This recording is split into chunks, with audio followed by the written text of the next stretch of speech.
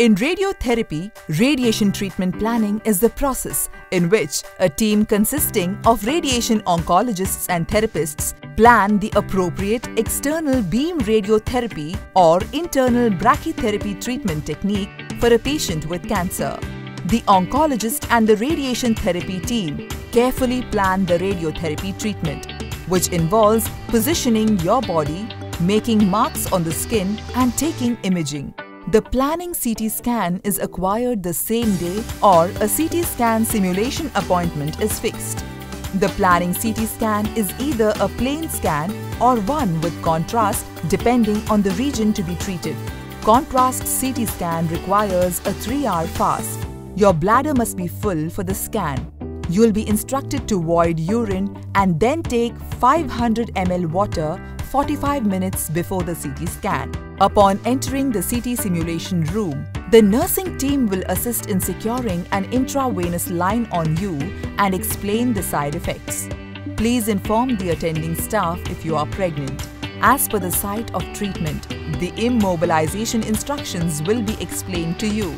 Some markings are done on your body which will either be permanent or plaster may be taped over these marks and you'll be asked to retain them until the treatment is complete.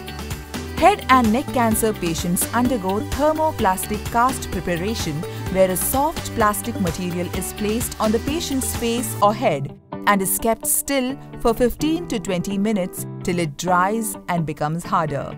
After positioning, a CT scan would be acquired with or without contrast based on the clinical site and indication. The entire CT scan procedure takes around 30 to 60 minutes.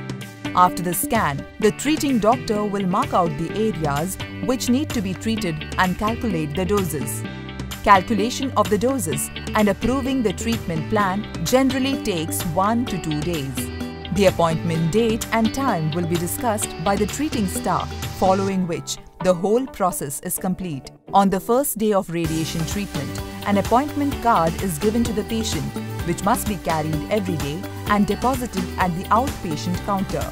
For the thorax and abdomen region, a contrast CT scan followed by 4D CT scan is done if needed.